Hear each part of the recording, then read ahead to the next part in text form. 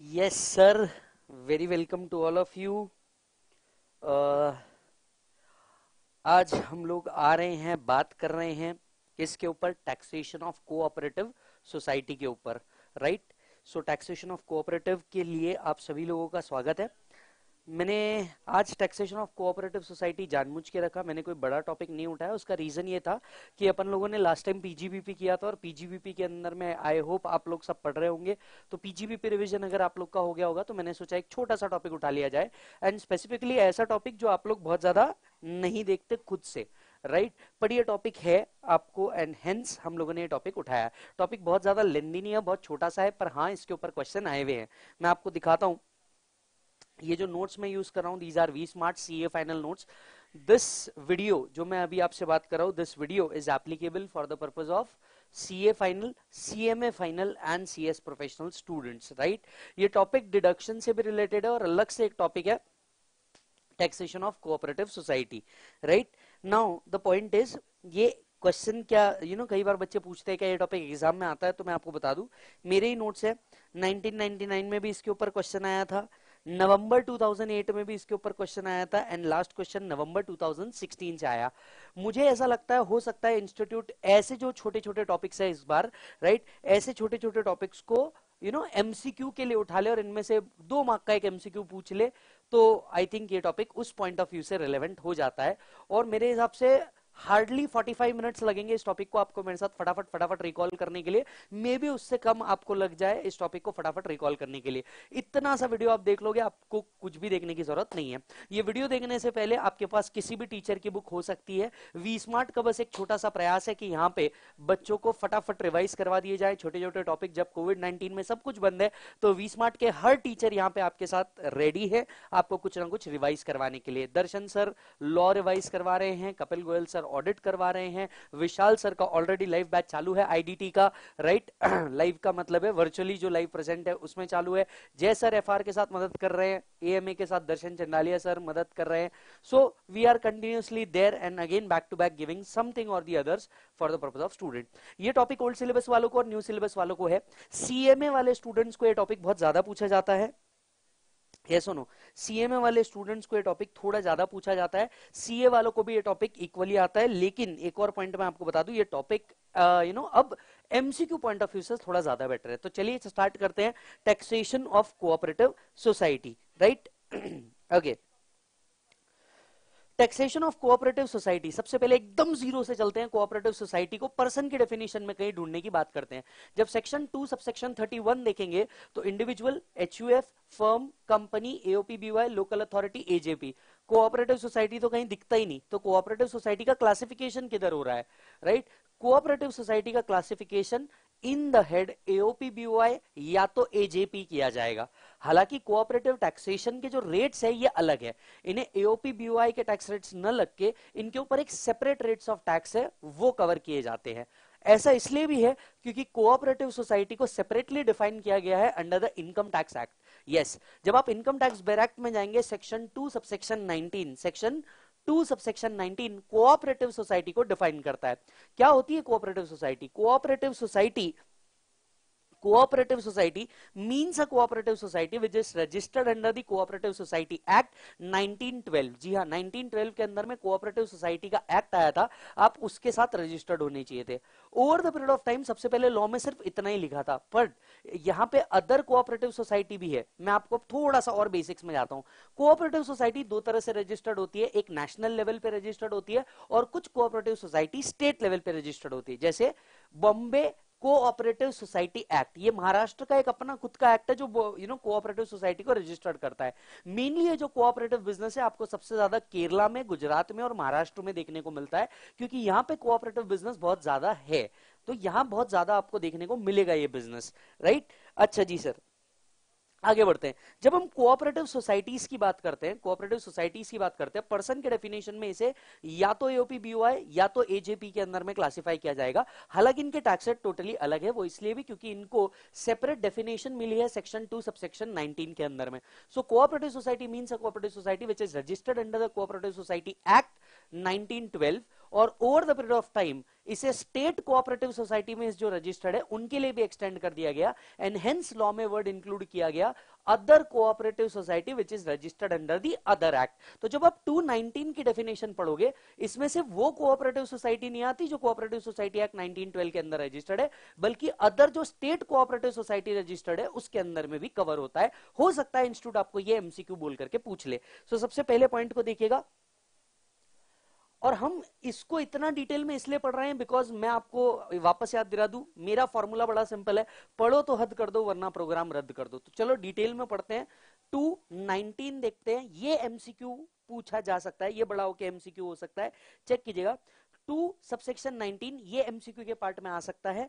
Cooperative society means a cooperative society registered under the cooperative society act 1912 और कई सालों बाद जब इसमें अमेंडमेंट लाया गया अंडर एनी अदर लॉ यहाँ अंडर एनी अदर लॉ मतलब जो स्टेट लॉज बने हुए हैं, जैसे Maharashtra cooperative society regulation Haryana cooperative society regulation Gujarat cooperative society you know regulation इसके अंदर जो बने हुए हैं वो। अब जैसे अगर आप इंडिया के कुछ फ़ेमस कोऑपरेटिव सोसाइटी के नाम देखेंगे तो सबसे पहला ही नाम आपको सबसे बड़ी कंपनी का मिलेगा अमूल। अमूल राइट? अमूल एक बहुत बड़ा कोऑपरेटिव सोसाइटी इंडिया के अंदर में, दूसरा IFFCO I double F CO IFFCO जितने भी एग्रीकल्चरिस्ट है फार्मर्स है, उनके लिए बहुत ज़्यादा फोकस करता है इफको फर्टिलाइजर्स बनाने में और इसके इंप्लीमेंट सप्लाई करने में। अगर आप इफको की बात करें तो IFFCO actually plant and machinery भी सप्लाई करता है राइट डिस्पोजल ऑफ़ लेबर्स भी प्रोवाइड करता है और ऐसे कई सेक्टर्स के अंदर में एंगेज है। वही अगर आप अमूल देखें तो you know milk oil seeds and other products के अंदर में एंगेज है। सो कोऑपरेटिव सोसाइटी नाम का कंसेप्ट लाया क्योंकि उसके पीछे एक बहुत इंपॉर्टेंट पॉइंट था। जब यू नो इंडिविजुअल और पार्टनरशिप फर्म या कंपनी देखे तो इनमें एक्सप्लॉयटेशन बहुत ज़्यादा होते थे और इसी के लिए कोऑपरेटिव सोसाइटीज लाया गया। अब इससे रिलेटेड दो पॉइंट समझिएगा। अगर आप कंपनीज़ एक्ट देखें तो आपको ऑब्वियसली दर्शन खरे सर ने बताया होगा कि कंपनीज़ एक्ट के अंदर में प्रोड्यूसर नाम की कंपनी है। तो ज़रूरी नहीं है आपको कोऑपरेटिव्स के अंदर ही गवर्न होना है। अगर आप कंपनी फॉर्म में आके सेम काम करना चाहते हैं तो आप सेक्शन एट कंपनी या सेक्शन ट्वेंटी फाइव कंपनी जिसे अर्लियर कहा जाता था प्रोड्यूसर कंपनी नाम से भी आ सकते हैं। और फाइनेंस एक्ट टू ने प्रोड्यूसर कंपनी के लिए सिमिलर एक और सेक्शन लेके आया एट्टी पीए तो अगर आप कोऑपरेटिव सोसाइटी है 80 पी के अंदर डिडक्शन लेंगे, अगर आप प्रोड्यूसर कंपनी है 80 पीए के अंदर लेंगे सो मैं डैम श्योर हूँ आपने 80 पीए पढ़ा होगा और नहीं पढ़ा होगा तो प्लीज़ जून 20 के लिए इसे पढ़ लीजिए, क्योंकि ये अमेंडमेंट है इसके अंदर में। आइए, आगे बढ़ते हैं। Sir so cooperative society means any cooperative society which is registered under the cooperative society act और एनी अदर लॉ यहाँ एनी अदर लॉ का मतलब है जो स्टेट लॉज बनाए हुए कोऑपरेटिव सोसाइटी के लिए, वो। मेजरली कोऑपरेटिव सोसाइटीज के लिए एक डिडक्शन होता है। डिडक्शन है एटीपी का। एटीपी यस ध्यान से सुनिए। एटीपी यही अगर प्रोड्यूसर कंपनी रही एटीपीए एटीपी कहता है हंड्रेड परसेंट एटीपी कहता है हंड्रेड परसेंट डिडक्शन अलाउड है। डिडक्शन डिडक्शन डिडक्शन डिडक्शन का मतलब होता है from chapter six chapter six के अंदर से इसे डिडक्शन मिलेगा। मतलब ग्रॉस टोटल इनकम में से इसको डिडक्शन मिलेगा। और ये डिडक्शन एटीपी के अंदर मिलेगा कुछ कोऑपरेटिव सोसाइटीज को। Let me clarify you we are talking about cooperative society we are not talking about cooperative banks section ATP is not applicable to cooperative bank. Again, I repeat section eighty P is not applicable to cooperative bank जिसका मतलब है, ये जो chapter हम पढ़ रहे हैं, ये कोऑपरेटिव बैंक्स के लिए एप्लीकेबल नहीं है। ये कोऑपरेटिव बैंक्स के लिए एप्लीकेबल नहीं है।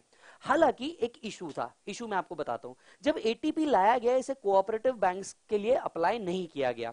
लेकिन जो डिस्ट्रिक्ट लेवल है रूरल लेवल्स है राइट? यहाँ पे एक प्रॉब्लम देखी जाती थी। प्रॉब्लम ये होती थी, जरा स्टोरी सुनिए, आपको मज़ा आ जाएगा। प्रॉब्लम ये होती थी कि यू नो जमींदार होते हैं। छोटे छोटे गाँव में अगर आप देखोगे छोटे गाँव में कस्बों में यहाँ पे जमींदार होते हैं और जमींदार क्या करते थे? हाई रेट ऑफ़ इंटरेस्ट के ऊपर आपको क्या देते थे? लोन देते थे किसानों को। और किसानों को हाई रेट पे लोन देने के कारण इनका एक्सप्लॉयटेशन होता था। और इसी के लिए यू you नो know, इन जगहों पे प्राइमरी क्रेडिट कोऑपरेटिव सोसाइटी बनी या रूरल क्रेडिट कोऑपरेटिव सोसाइटी बनी so this section is applicable to cooperative society including including including primary agriculture cooperative society and rural agricultural cooperative society but excluding cooperative bank तो generally cooperative bank पे ये section applicable नहीं है, पर primary credit society और rural advances के लिए इसे लाया गया और एटीपी ये लोग अब क्लेम कर सकते हैं। सो चेक कीजिएगा deduction under section eighty P is applicable to cooperative society however, deduction is not applicable to cooperative society other than other than मतलब ये दो included है। Primary agriculture credit society, primary agriculture and rural development banks that means a society having an area of operation confined to a taluk and principal object is to provide long term credit for agriculture and rural development right अच्छा जी so technically sum up करते हैं फटाफट किस किस को ये section applicable है एटीपी का सेक्शन कोऑपरेटिव सोसाइटीज को एप्लीकेबल है प्राइमरी क्रेडिट कोऑपरेटिव सोसाइटीज को एप्लीकेबल है रूरल क्रेडिट सोसाइटीज को एप्लीकेबल है कोऑपरेटिव बैंक्स को एप्लीकेबल नहीं है, बाकी सब कोऑपरेटिव इसके अंदर में कवर हो गई। कितना डिडक्शन मिलेगा? क्योंकि हम बात कर रहे थे deduction from gross total income कितना डिडक्शन मिलेगा? डिडक्शन अंडर एटीपी के अंदर में हंड्रेड परसेंट दिया। कितना? हंड्रेड परसेंट जितना कमा रही है बाकी cooperative society hundred percent deduction हम देंगे। कितना? जरा चेक कीजिएगा। डिडक्शन कितना दिया? Hundred percent deduction shall be allowed from profit किस बात के? क्या? प्रॉफिट यही अगर इन्हें लॉस आ जाए तो अगर इन्हें लॉस आ जाता है, तब तो डिडक्शन लेने का कोई सवाल ही नहीं उठता। हेंस प्रॉफिट से डिडक्शन दिया। एक्टिविटीज़ क्या होनी चाहिए इन कोऑपरेटिव सोसाइटी की? चेक कीजिए। Credit facility to its member except cooperative bank so cooperative bank पे तो ये सेक्शन ही एप्लीकेबल नहीं है। अब जरा समझिएगा।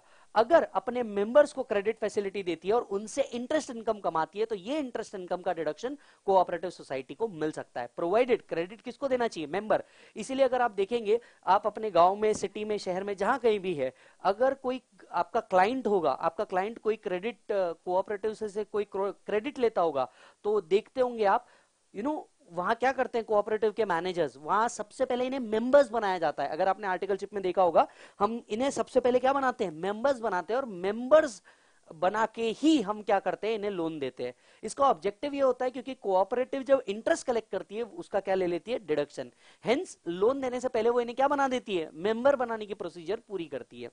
Next cottage industry generally cottage industry किसे कहा जाता है? जनरली कॉटेज इंडस्ट्री छोटे विलेजेस के अंदर में जो घर पे बनाने घर पे बनाई गई कोई प्रोडक्ट्स होते हैं, उनके अंदर में। जैसे केरला के अंदर में देखा जाए आप साउथ के अंदर में देखा जाए तो वो लोग साड़ी या कपड़े घर के अंदर में बनाते हैं। उसी तरह से सैनिटरी पैड्स बनते हैं। आपने लिज्जत पापड़ नाम का सुना होगा।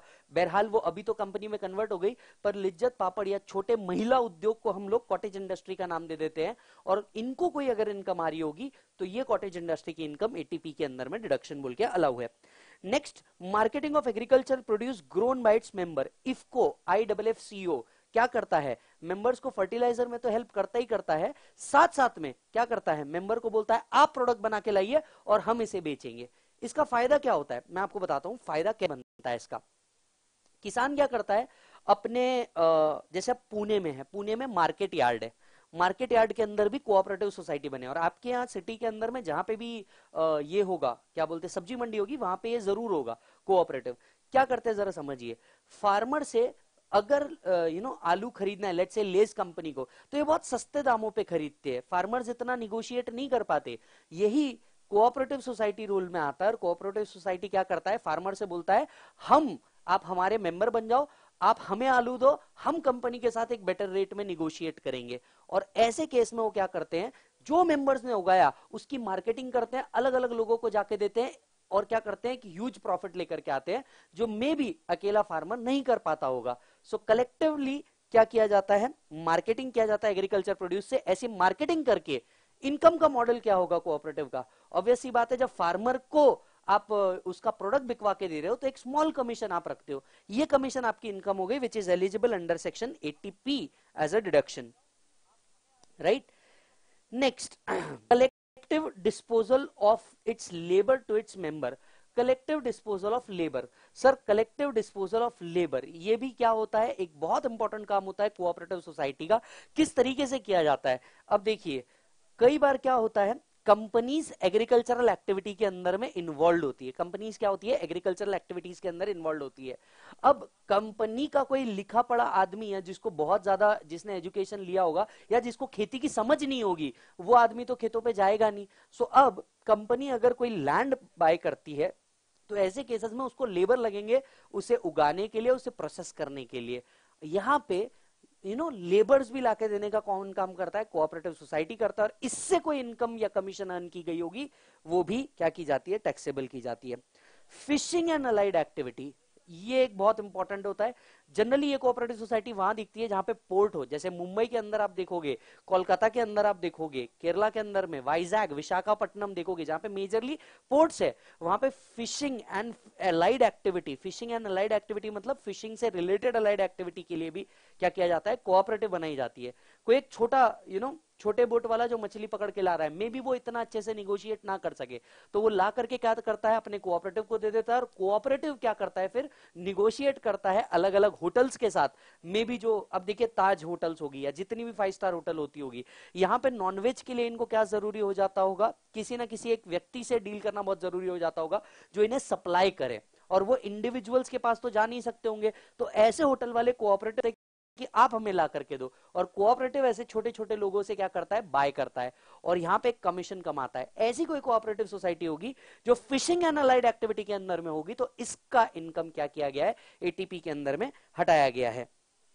Next processing without the aid of power agriculture produce of its member कई प्रोडक्ट ऐसे होते हैं जिनके अंदर में आपको इसकी ज़रूरत नहीं होती।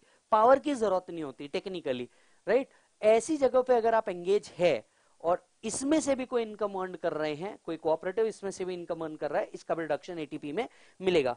Purchase of agricultural implement seeds life stock and other agriculture article for the purpose of supplying to its member Amul Mother Dairy क्या काम कर रहे हैं? यही काम कर रहे हैं साहब। मदर डेयरी तो खैर अभी कंपनी फॉर्म में आ गई इनके कोऑपरेटिव भी है। सो so, परचेज करते हैं कोई एग्रीकल्चरल इंप्लीमेंट्स देखिए मैं आपको बताता हूँ होता क्या John Deere company right might भी जॉन डियर कंपनी अगर एक नॉर्मल किसान जॉन डियर कंपनी में जाएगा माइट भी उसको ट्रैक्टर जो हो, वो एमआरपी पे मिले और कोई डिस्काउंट ना मिले। ऐसे केस में क्या होता है? कोऑपरेटिव सोसाइटी जाता है निगोशिएट करने के लिए। वो सबसे पहले देखता है किन किन मेंबर्स को क्या ज़रूरी है ट्रैक्टर्स ज़रूरी है। वो क्या करता है? जॉन डियर जॉन डियर से निगोशिएट करता है। Maybe twenty percent thirty percent price से कम में बल्क बाय करता है। और बल्क बाय करके एक कम रेट के अंदर में अपने मेंबर्स को प्रोवाइड कर देता है और एक स्मॉल कमीशन अर्न कर लेता है।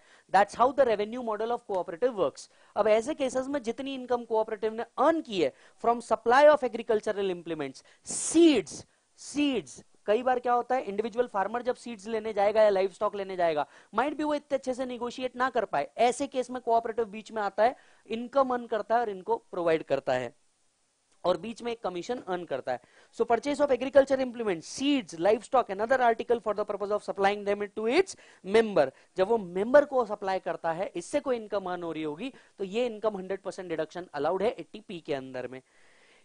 इनकम इंटरेस्ट और dividend from investment with other cooperative society final वालों, जरा ध्यान देना इस पॉइंट पे, क्योंकि इस पॉइंट पे आपको कंफर्म एमसीक्यू बनाएगा। कंफर्म है सर कंफर्म एमसीक्यू बनाएगा।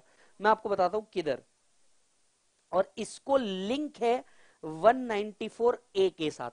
इसको लिंक करेंगे हम 194 ए के साथ। ये लिंकिंग बड़ी ज़रूरी है साहब, क्योंकि जब आप ये लिंकिंग देखोगे एग्जामिनर आपको देखना इसी लिंक के अंदर में घुमाएगा। ठीक है? जरा समझते हैं। एक कोऑपरेटिव मैक्सिमम टाइम पे क्या करता है? दूसरे कोऑपरेटिव के अंदर में अपनी इंटरेस्ट इनकम या अदर इन्वेस्टमेंट इनकम जो रखता है, वो रखता है। जैसे मैं आपको बताता हूँ, कोई छोटा कोऑपरेटिव सोसाइटी होगा, वो बड़े कोऑपरेटिव सोसाइटीज के अंदर में क्या करता है? अपने एफ़ रखता है, अपने सेविंग्स रखता है और इसके ऊपर इन्वेस्टमेंट कमाता है। राइट अच्छा जी। अब इंटरेस्ट इनकम जो एक कोऑपरेटिव दूसरे कोऑपरेटिव से कमा रहा है, एक कोऑपरेटिव दूसरे कोऑपरेटिव से जो इंटरेस्ट इनकम कमा रहा है, ये इंटरेस्ट इनकम भी 100 परसेंट क्या है? डिडक्शन अलाउड है अंडर एटीपी मेरी बात को ध्यान से सुने। इंटरेस्ट और डिविडेंड जो कमा रहा है दूसरे कोऑपरेटिव सोसाइटी से, वो एटीपी के अंदर में मान लीजिए, इन्होंने कोई बैंक में रखा और बैंक से इंटरेस्ट आ रहा होगा, ये इंटरेस्ट टैक्सेबल है क्या? बिल्कुल ये इंटरेस्ट टैक्सेबल है। क्योंकि उन्होंने क्या कहा है? Only the income interest dividend from investment with other cooperative society other cooperative society के साथ जो रखा गया इंटरेस्ट इनकम आया है, सिर्फ़ वो इसके अंदर में आता है। मैं सवाल आपके सारे जितने भी होंगे, क्योंकि मुझे दिख रहा है काफ़ी सवाल है यहाँ पे। सवाल जितने भी होंगे, आप सभी को पता है, मैं एंड में डेफिनेटली ले लूँगा डोंट वरी इसीलिए मैं लाइव सेशन ले रहा हूँ। आपके जो सवाल होंगे, मैं एंड में ले रहा हूँ, पहले कॉन्सेप्ट के ऊपर ध्यान दो। और स्पेशली एच वाले पे ध्यान देना पे कंफर्म इस चैप्टर में आएगा ही आएगा। मैंने मेरे एमसीक्यू बुक के अंदर में भी इसके ऊपर क्वेश्चन रखा है। तो ध्यान से सुनना। Right right? सो so, एक कोऑपरेटिव सोसाइटी दूसरे कोऑपरेटिव सोसाइटी के अंदर में क्या रखता है? आपका अमाउंट रखता है। वहाँ से कोई इंटरेस्ट आ रहा है that interest is taxable not yes that interest is not taxable लेकिन यही एक कोऑपरेटिव ने क्या किया? एचडीएफसी बैंक में रख दिया। हालाँकि मैं आपको एक बात बता दूँ, क्योंकि मैंने आर्टिकलशिप में कोऑपरेटिव सोसाइटी का काम किया है, मैंने सीए बनने के बाद कोऑपरेटिव ऑडिट्स भी किए हैं तो मैं आपको बता दूँ मैक्सिमम केसेस में क्या होता है कोऑपरेटिव अपने बायलॉज में ही लिख देता है। कोऑपरेटिव का कोई अग्रीमेंट नहीं बनता कोऑपरेटिव का बनता है बायलॉ जितने लोगों ने आर्टिकलशिप में कोऑपरेटिव ऑडिट किया होगा, उनने सबसे पहले क्या किया होगा क्लाइंट को समझने के लिए बायलॉस पड़े होंगे। आप लोगों को समझ रहा होगा क्लाइंट को पढ़ने के लिए सबसे पहले क्या पढ़ा होगा? बायलॉस पढ़ा होगा। और ये बायलॉस के हिसाब से ही उसमें वो लिख दिया जाता है that we will not keep the deposit in other banks we will keep in cooperatives only उसका एक बहुत बड़ा रीजन ये भी होता है क्योंकि कोऑपरेटिव से जो आने वाला इंटरेस्ट होता है, वो क्या होता है? एटीपी में डिडक्शन मिल जाता है। हालाँकि ये डिपेंड करता है आप कोऑपरेटिव कहाँ रजिस्टर कर रहे हो? नेशनल रजिस्ट्री में या स्टेट में? हालाँकि ऐसा ज़रूरी नहीं है बट मैक्सिमम बायलॉज में लिखा ही होता है। उसका लॉजिक ये होता है क्योंकि उससे आने वाला इंटरेस्ट क्या हो जाता है? एग्ज़ाम अब मैं जा रहा हूँ यहाँ से चैप्टर टीडीएस में। टीडीएस में 194 ए 194 ए बात करता है interest other than on interest on security TDS on interest other than on interest on security right अब ध्यान से सुनिए। मान लीजिए कोऑपरेटिव ए कोऑपरेटिव बी इसने क्या किया? अपना डिपॉजिट कोऑपरेटिव बी में रख दिया। कोऑपरेटिव बी इसे क्या पे कर रहा है? इंटरेस्ट अब टीडीएस का एंगल समझते हैं। ये हो गया पेयर ये हो गया पे ठीक है? इधर एक बार देख लो, मैं आपको समझा देता हूँ फटाफट। राइट कोऑपरेटिव ए ने कोऑपरेटिव बी के अंदर में डिपॉजिट रखा। कोऑपरेटिव बी अब क्या पे कर रहा होगा? कोऑपरेटिव ए को इंटरेस्ट पे कर रहा होगा। You got this point payer कौन हो गया? कोऑपरेटिव बी रिसीवर कौन हो गया? कोऑपरेटिव ए ठीक है? अब एक इंपॉर्टेंट सवाल मुझे बताइए। मान लीजिए अगर ये इंटरेस्ट मान लीजिए अगर ये इंटरेस्ट जा रहा होगा स्पेसिफाइड लिमिट्स के ऊपर which is given in 194 A forty thousand fifty thousand या फिर five thousand in any other case ये अगर लिमिट से जा रहा हो, ऊपर जा रहा होगा तो क्या कोऑपरेटिव सोसाइटी टीडीएस डिडक्ट करे या ना करे? मुझे ये बात बताइए। ध्यान से सुनिए। कोऑपरेटिव ए को जितना इंटरेस्ट मिल रहा है, ये इंटरेस्ट 80 पी के अंदर में डिडक्शन अलाउड है। Deduction is always out of taxable income taxable में से डिडक्शन मिल रहा है। अब बी कोऑपरेटिव सोसाइटी जब इंटरेस्ट पे करेगा ए कोऑपरेटिव सोसाइटी को, क्या B cooperative society TDS deduct करे या ना करे? ये इंपॉर्टेंट पॉइंट है 194 ए का भी। यही सेम चीज़ आप 194 ए में भी देखेंगे। आप जाकर के चेक कर लीजिए। आप जो बुक ले रहे होंगे, जिस ऑर्थर की ले रहे होंगे, मैं कंफर्म बोलता हूँ, उसने 194 ए का ये वाला पॉइंट उसमें लिखा ही लिखा होगा। मुझे जल्दी से जवाब बताइए, जितने लोग भी लाइव में हैं। शशांक जी कह रहे हैं यस वो टीडीएस डिडक्ट करेगा। शशांक जी का जवाब आ रहा है यस वो टीडीएस डिडक्ट करेगा। कोई और? दिव्या कह रही है, नहीं टीडीएस डिडक्ट नहीं करेगा। और कोई जितने लोग देख रहे हैं, फटाफट जवाब दो।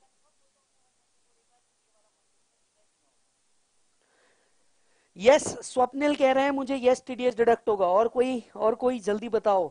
दो जवाब यस के फेवर में, एक जवाब नो के फेवर में। दो जवाब यस के फेवर में, एक जवाब नो के फेवर में। एनी अदर आंसर कोई जल्दी से बता दे।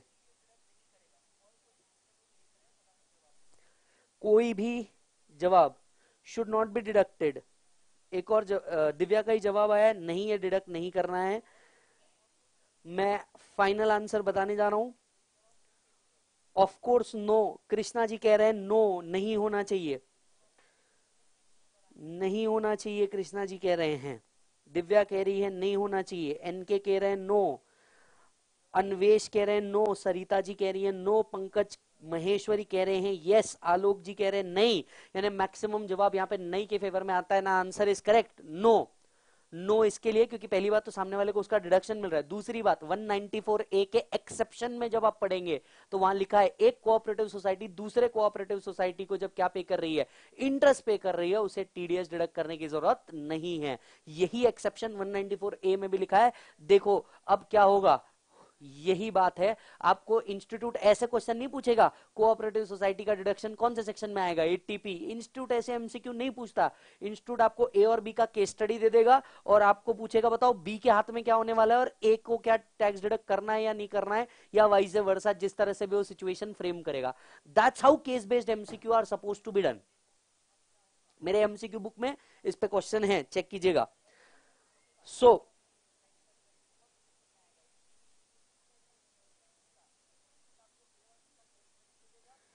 income from letting out godown और वेयर हाउस हाँ जी sir income from letting out godown और वेयर हाउस कई कोऑपरेटिव सोसाइटी एंगेज होते हैं मैक्सिमम uh, केस में ये कोऑपरेटिव सोसाइटी बोल करके बनते हैं वो अपना गोडाउन या वेयर हाउस लेट आउट करते हैं और उससे कोई इनकम कमाते हैं। मैं आपको बता दूँ यस इसके ऊपर भी डिडक्शन है एटीपी का। इसके अलावा इसके अलावा अगर प्राइमरी सप्लाई करती है कोई मिल्क ऑयल सीड फ्रूट्स या vegetable by primary society to federal cooperative government और लोकल अथॉरिटी गवर्नमेंट और statutory corporation engage in supply of milk और फ्रूट्स तो ऐसे केसेस में क्या किया जाएगा? एंगेज डिडक्शन मिलेगा। अब मैं आपको बताता हूँ क्या होगा। ये कोरोना के चक्कर में कई वॉलेंटियर्स या कई कोऑपरेटिव सोसाइटीज आई होंगी जो गवर्नमेंट को क्या कर रही होगी, इस मुश्किल समय के अंदर में सीड सप्लाई कर रही होगी ऑयल सप्लाई कर रही होगी फ़ूड सप्लाई कर रही होगी वेजिटेबल सप्लाई कर रही होगी, कई जो छोटी छोटी मंडीज है, ये गवर्नमेंट को या लोकल अथॉरिटीज को क्या कर रही होगी प्रोवाइड कर रही होगी। For example market yard Pune ने पुणे म्यूनिसिपल कॉर्पोरेशन को क्या किया? वेजिटेबल सप्लाई किए, फ्रूट सप्लाई किए, क्योंकि अब इस टाइम पे पुणे म्यूनिसिपल आप थोड़ा सा प्रैक्टिकलिटी में समझिए, पुणे म्यूनिसिपल कॉर्पोरेशन एक एक फार्मर को तो ढूँढने जाएगा नहीं, वो क्या करेगा? मार्केट यार्ड कोऑपरेटिव सोसाइटीज को पकड़ेगा, बोलेगा, मेरे को क्या चाहिए? जितने एरियाज़ को मैंने कोरोना के अंदर में सील किया है, इन सभी जगह पे मुझे फ्रूट्स वेजिटेबल या अदर चीज़ें प्रोवाइड करवानी है, आप मुझे सप्लाई करो। ये cooperative society milk fruits vegetable and other चीज़ें क्या करेगा? प्रोवाइड करवाएगा। Pune municipal corporation that is local authority या पुणे एक बहुत बड़ी मंडी होने के कारण क्या होता है? ये प्रोवाइड करेंगे महाराष्ट्र स्टेट को। ऐसे केसेस में क्या किया जाएगा? जितनी इनकम ये कमा रहे हैं कोऑपरेटिव सोसाइटी इन्हें कोई स्पेशल डिडक्शन नहीं देने की ज़रूरत है। ऑलरेडी दिया है अंडर सेक्शन 80 पी ऑलरेडी दिया है अंडर सेक्शन 80 पी तो उसका ये डिडक्शन ज़रूर मिलेगा। अच्छा जी सर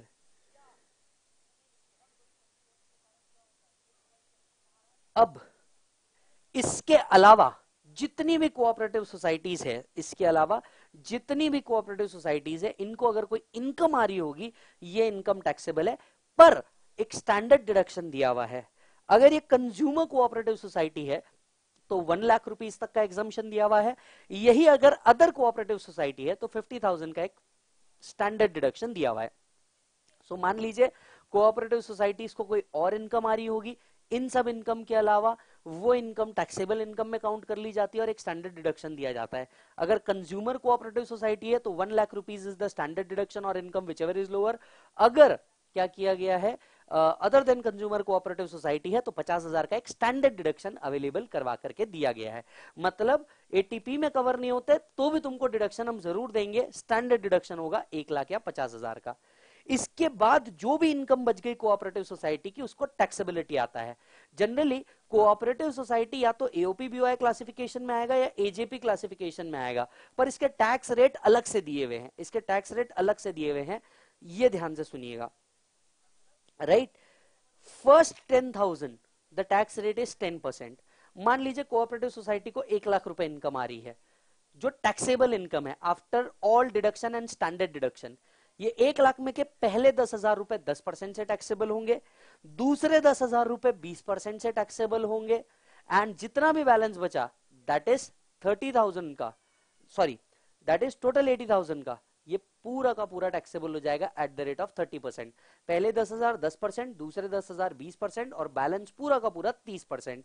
अगर कोऑपरेटिव सोसाइटी की इनकम एक करोड़ रुपए के ऊपर जा रही है, जो टैक्सेबल पोर्शन है, एक करोड़ रुपए के ऊपर जा रहा है तो इन्हें सरचार्ज भी लगेगा at the rate of twelve percent surcharge लगेगा at the rate of twelve percent plus H इनके ऊपर एप्लीकेबल है at the rate of four percent कुछ और इंपॉर्टेंट केस लॉस जो इस चैप्टर से रिलेटेड है, वो बता देता हूँ। एक सर्कुलर था circular number six two thousand ten R R बीस रीजनल रूरल बैंक क्या इन्हें एटीपी का डिडक्शन मिलेगा?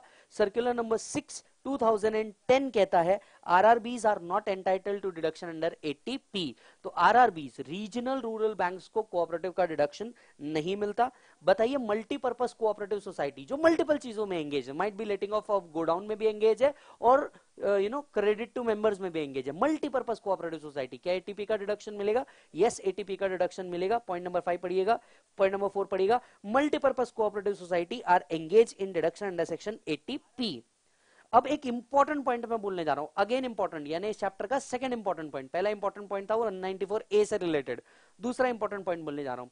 मान लीजिए one of the cooperative society is engage in profit link deduction जो deduction chapter six A part C में लिखे हैं eighty I A to eighty R R B वाले राइट मान लीजिए one of the cooperative society is eligible for eighty I A और I B right can this cooperative society claimed eighty P मुझे जल्दी बताइए। Can this cooperative society claim eighty P हाँ या ना?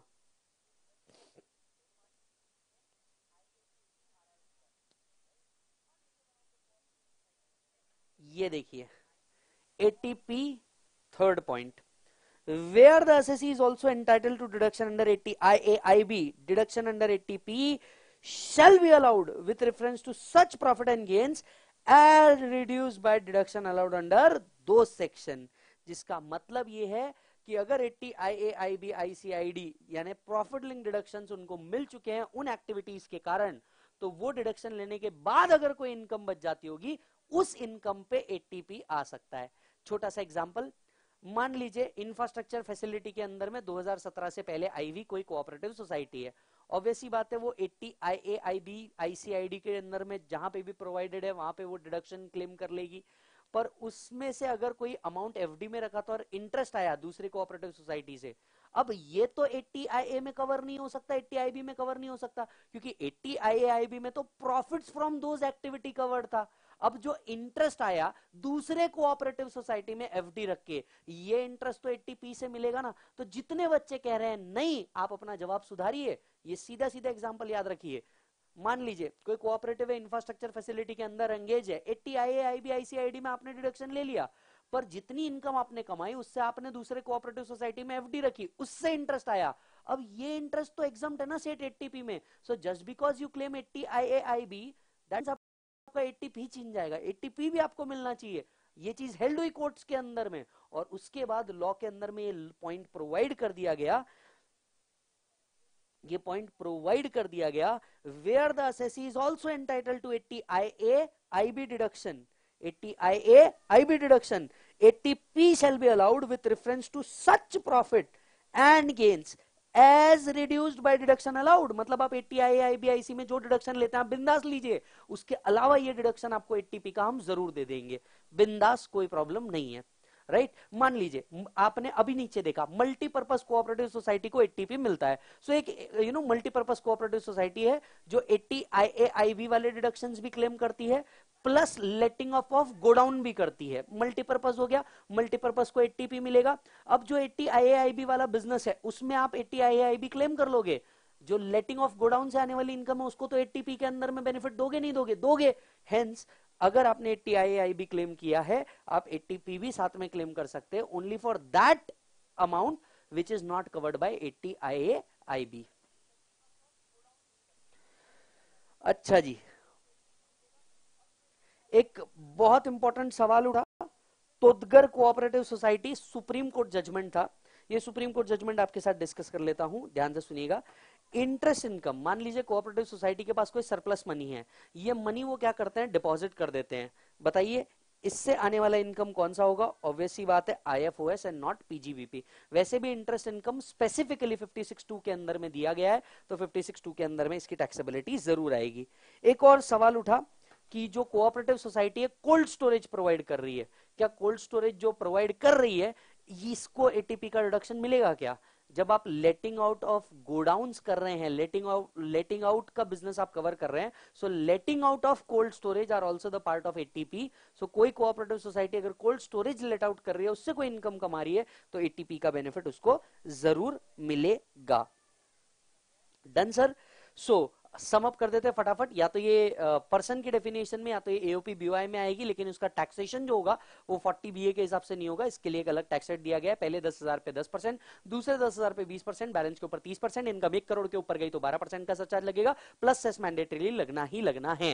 राइट अच्छा जी सर कोऑपरेटिव सोसाइटी की जो बेनिफिट है, वो एटीपी के अंदर में एग्ज़ाम है। अगर कोई एटीपी के अंदर में डिडक्शन नहीं ले रहा है डिडक्शन नहीं ले रहा है तो उसको एक स्टैंडर्ड डिडक्शन दिया गया है। कंज्यूमर कोऑपरेटिव होगा तो एक लाख तक का अदरवाइज़ पचास हज़ार तक का एक स्टैंडर्ड डिडक्शन अवेलेबल है राइट right? अगर कोई कोऑपरेटिव सोसाइटी मल्टीपर्पज रही तो उसको बेनिफिट एटीपी का ज़रूर मिलेगा। एटी आई वाला आईबी आईएआईबी क्लेम करेगा। बचे हुए प्रॉफिट के साथ वो एटीपी क्लेम कर सकता है राइट कोऑपरेटिव सोसाइटी का मतलब 219 के अंदर में लिखा है, जो कहता है, कोई भी कोऑपरेटिव सोसाइटी जो रजिस्टर्ड है कोऑपरेटिव सोसाइटी एक्ट 19 के अंदर या एनी अदर लॉ के अंदर में, और 100 परसेंट डिडक्शन कोऑपरेटिव सोसाइटी के अलाउड है।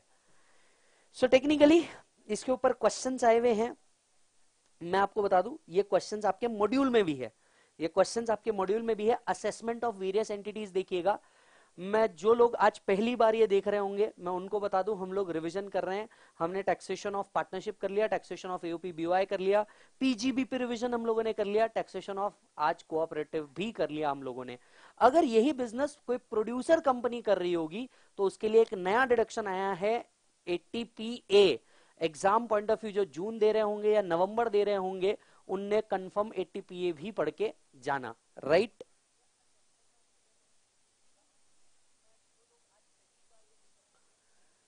चलिए सर इसके अलावा मैक्सिमम इनकम तो एग्जामटी है तो अपने को इतना ज़्यादा टेंशन लेने की ज़रूरत पड़ती नहीं।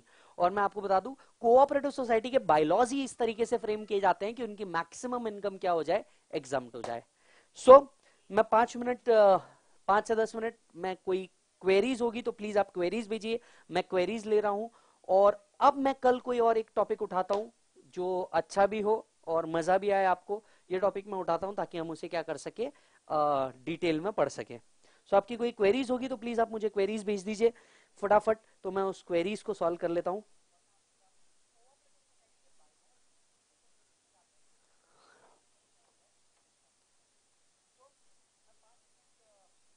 Special series V Smart Academy रोज कुछ ना कुछ अपलोड कर रहा है। वी स्मार्ट अकेडमी के यूट्यूब चैनल के साथ आप रहिए, वो रोज कुछ ना कुछ अपलोड कर रहा है।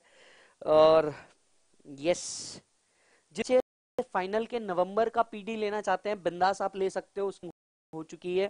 फाइनेंस एक्ट 19 आप लोग को एप्लीकेबल है फाइनेंस एक्ट 20 नहीं तो यस आप वो कवर कर सकते हैं।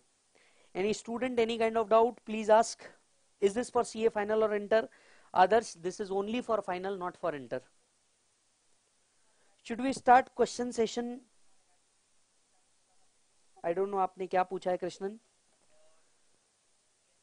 ट्रस्ट सोनाली जी ट्रस्ट का इनकम ट्रस्ट का टैक्सेशन बिल्कुल अलग से आता है, जिसको हम कहते हैं टैक्सेशन ऑफ़ चैरिटेबल ट्रस्ट जिसका इनकम 11 एंड 12 के अंदर में एग्ज़ाम होता है, वो अलग विषय है, वो इसके अंदर में नहीं आता। एटीजी और एटीजीजीए का डिडक्शन मिलेगा क्या? एक सवाल पूछा गया एटीजी और एटीजीजीए का डिडक्शन मिलेगा क्या? मैक्सिमम केस में होता ऐसा है कि कोऑपरेटिव सोसाइटी के 100 परसेंट डिडक्शन यही मिल जाते हैं। तो जितना पीजीबीपी होता है या जितना भी आपका ये अवेलेबल होता है, वो सब कुछ यहीं से मिल जाता है डिडक्शन तो प्रॉफिट बचता नहीं है। बट इसके अलावा अगर कोई प्रॉफिट बचता है तो आप डेफिनेटली उसके अंदर में क्लेम कर लीजिए एटीजी तो डेफिनेटली क्लेम हो सकता है, कोई प्रॉब्लम नहीं है। बट आपको ये देखने को नहीं मिलेगा। इंटरनेशनल टैक्स शुरू करो ठीक है?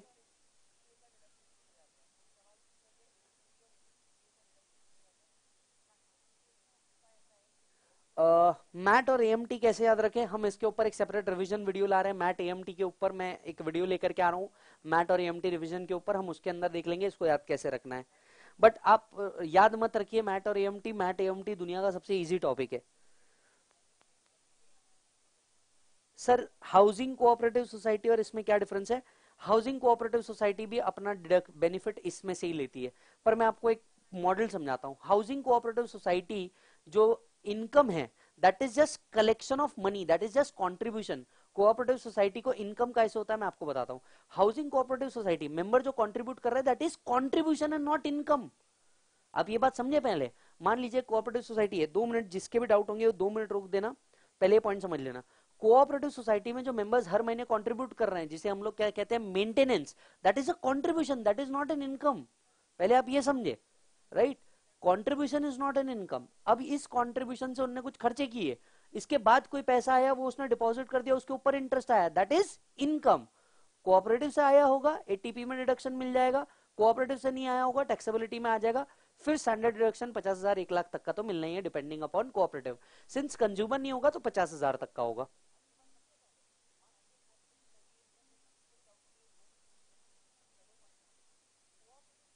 मैट प्रोविज़न यस मैं रिवाइज करवा रहा हूँ। सीएमए फाइनल की एक्स्ट्रा टॉपिक वो इसी के साथ साथ कवर्ड है। आपको कोई स्पेसिफिक अलग नहीं है। कल मैं क्या टॉपिक रिवाइज कराऊँगा, ये मैं टेलीग्राम के ऊपर डाल दूँगा। टेलीग्राम से आपको पता चल जाएगा कल टॉपिक क्या आने वाला है। पीजीबीपी पढ़ के मज़ा आया। Thank you so much Sarthak.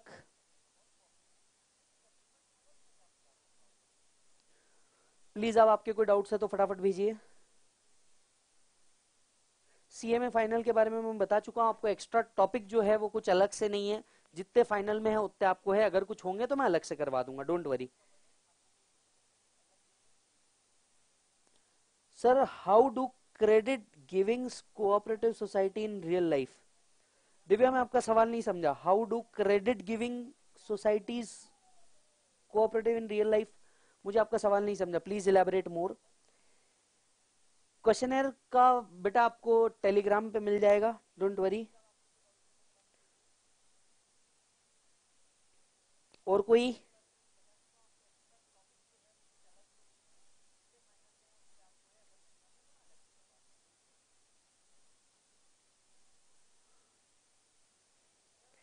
Krishnan federal cooperative society and consumer cooperative society अब मैं जैसे आपको बात बताता हूँ कंज्यूमर कोऑपरेटिव सोसाइटी क्या होती है? कई बार ऐसा होता है कि कुछ जो रेसिडेंशियल सोसाइटीज है रेसिडेंशियल सोसाइटीज है ये क्या करती है? ये कंज्यूमर कोऑपरेटिव का भी काम करती है। मैं आपको बताता हूँ होता कैसा है। मान लीजिए अब जैसे अगर मैं मेरी बिल्डिंग लू तो मेरी बिल्डिंग के अंदर में क्या करते हैं? हम सारे फैमिली वाले व्हाट्सएप ग्रुप बना हुआ है और हमारी सोसाइटी भी है। सारे मेंबर्स को अब जैसे गर्मियों का सीज़न आ रहा है आम की पेटी चाहिए। अब हर एक घर जाएगा हर एक घर क्या करता है? आ, अलग से आम की पेटी लेने जाएगा माइट भी वो इतना अच्छे से क्या कर सके बार्गेन ना कर सके। उस केस में क्या करता है, जो को, हमारे जो चेयरमैन है सोसाइटी के चेयरमैन है, वो क्या करते हैं, सभी लोगों से पूछते हैं कि किन किन लोगों को क्या चाहिए कोऑपरेटिव मतलब हम लोग आम की पेटियाँ लाने वाले किस घर को कितनी चाहिए। और साथ साथ में एक मैसेज भी आता है कि जो भी बार्गेन होगा, इसका एक दस रुपए, पचास रुपए, सौ रुपए व्हाट्स ये कोऑपरेटिव सोसाइटी के कॉमन कलेक्टिव कलेक्शन में जाएगा। विच टू विच सारे सोसाइटी वाले अग्री करते हैं, क्योंकि उनको डोर स्टेप डिलीवरी मिलती है। ऐसा कोई कोऑपरेटिव अगर कोई वर्क कर रहा है we call it as a consumer cooperative society जहाँ पे कलेक्टिवली बाय किया जाता है कंज्यूमेबल गुड्स और वो अपने मेंबर को प्रोवाइड कर देते हैं which is a consumer cooperative society इस तरीके से वर्क करती है। इंटरनेशनल टैक्सेशन यस मैं इंटरनेशनल टैक्सेशन पे ला दूँगा don't worry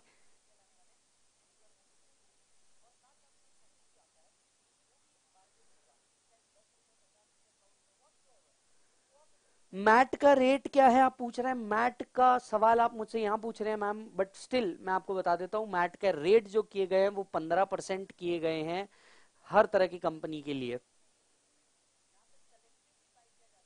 Assessment proceeding yes audit compulsory है क्या? मैं आपको बता दूँ ऑडिट की रिक्वायरमेंट सेपरेटली आपको यहाँ पे नहीं दी हुई है प्रोविजंस के अंदर में right but cooperative society act के हिसाब से कोऑपरेटिव ऑडिट मैंडेटरी है। कोऑपरेटिव सोसाइटी एक्ट के हिसाब से। और अगर आप यहाँ देखेंगे तो यहाँ पे जब due date of filing return की बात आती है तो वहाँ पे क्लियर कट लिखा है, अगर आपको ऑडिट कोई भी लॉ के अंदर मैंडेटरी है तो आपका जो रिटर्न भरने की डेट है, वो सितंबर हो जाती है। और कोई कोऑपरेटिव से रिलेटेड आपके कुछ क्वेश्चंस कैपिटल गेन का रिवीजन अब मैं देखो यही नहीं समझ पा रहा हूँ कि आपको इंटरनेशनल लू असेसमेंट लू या कैपिटल गेन लू। क्योंकि सब अलग अलग बात कर रहे हैं। फेडरल कोऑपरेटिव कई कोऑपरेटिव सोसाइटी मिल करके एक फेडरेशन बनाते हैं। We many times call it as a federal cooperative society पर फेडरल के बायलॉज कुछ अलग होते हैं जो कोऑपरेटिव सोसाइटी एक्ट के अंदर दिए हैं। जैसे बीसीएएस के फेडरल कोऑपरेटिव्स के बायलॉज कुछ अलग है राइट तो कंडीशन अगर आती है तो आप फेडरल बाय कोऑपरेटिव सोसाइटी भी क्लासिफिकेशन कर सकते हैं।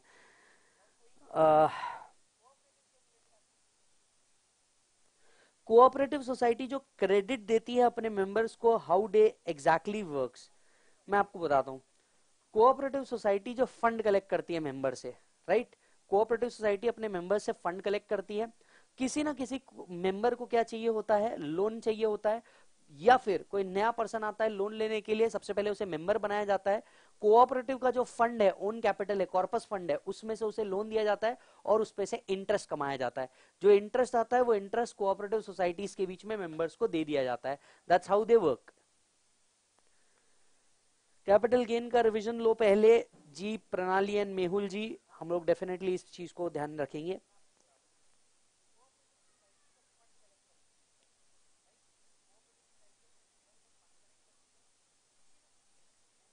सर अपना यूट्यूब का टाइम शेड्यूल क्या है? रोहित जी मैं ऑलमोस्ट दस बजे ही आ रहा हूँ और जब भी आने वाला होता हूँ मैं पहले टेलीग्राम पे डाल देता हूँ। तो जितने बच्चे रिविजन देख रहे हैं प्लीज़ टेलीग्राम ग्रुप ज्वाइन कर लेना। वीडियो डिस्क्रिप्शन में लिंक प्रोवाइडेड होगा। लिंक से ज्वाइन कर लेना। इंस्टा सर इंस्टा आप मुझसे कनेक्ट हो जाइए पर मैं इंस्टा पे कोई रिप्लाई नहीं देता। आपको कुछ यू नो रिप्लाई भी चाहिए। आ, या आपको कोई क्वेरीज है this is my number this is my number आप इसके ऊपर मुझे व्हाट्सएप कर दीजिए। मैं आपके डाउट ज़रूर देखूँगा और पॉसिबल हुआ तो मैं जल्दी से जल्दी रिप्लाई करने की कोशिश करूँगा। आप इंस्टा पे मुझसे कनेक्ट हो जाइए, पर डाउट वहाँ पे मत रेस कीजिए। International tax okay I look into it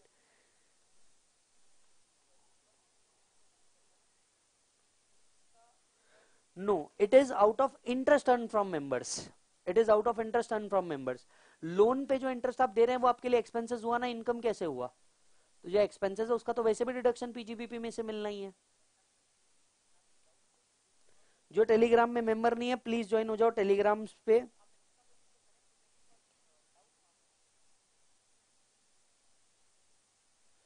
अगर आपको थैंक यू बोलना भी है धवल जी तो प्लीज़ धवल नेहा आपको अगर थैंक यू बोलना भी है तो प्लीज़ विशाल विशाल भट्टर सर को या तो वी स्मार्ट अकेडमी को बोलना चाहिए।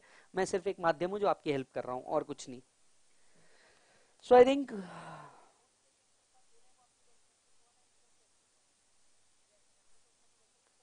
नहीं both are covered Abhay ji done so I think maximum of the things are done इसके अलावा कोई क्वेरीज होगी तो प्लीज़ आप मुझे यहाँ पे भेज दीजिएगा। आई होप आपको ये कोऑपरेटिव सोसाइटी का टैक्सेशन फटाफट अगर आ, मतलब आपके जो दोस्त होंगे सीए फाइनल के आपको पसंद आया होगा तो उन्हें भी भेज दीजिए। जो बुक से भी पढ़ रहे होंगे फटाफट उनका रिकॉल हो जाएगा और आ, उनका एटलीस्ट एक टॉपिक देखना हो जाएगा। अपने दोस्तों को बता दीजिएगा। सिंस आपने तो लाइव में देखा है वो लोग इसे फास्ट फॉरवर्ड करके भी देख सकते हैं। Done okay sir thank you so much for this thank you so much for attending this session मैं आपसे कल मिलता हूँ, वापस से कोई और फाइनल का टॉपिक उठाते हैं फाइनल का कोई ना कोई और रिविजन करते हैं फटाफट। तो मिलता हूँ आपसे bye and take care thank you so much